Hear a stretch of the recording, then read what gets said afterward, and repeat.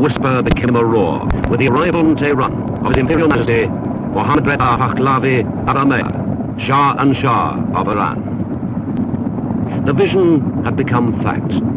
The man whose popular leadership and foresight had already made great changes in the ancient land of Persia now came to put his personal seal of endorsement upon the gigantic task ahead.